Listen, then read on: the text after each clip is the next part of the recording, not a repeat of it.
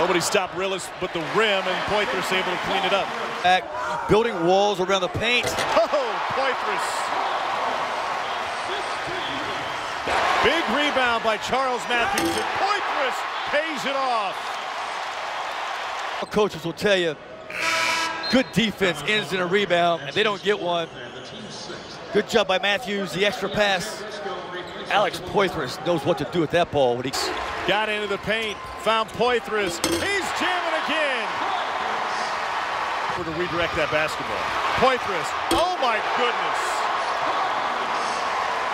Double figures for Alex Poythress. team in the country, and they can get a lot better. Poythress is looking sensational tonight. Came off the bench last season until he got injured, and he's playing above the rim tonight. He's a great kid. Great family. I had the pleasure of recruiting him some at Florida. Thought we were going to get him. He broke our heart. Oh, man. He's doing a great job for Big Blue tonight. 12 and 7.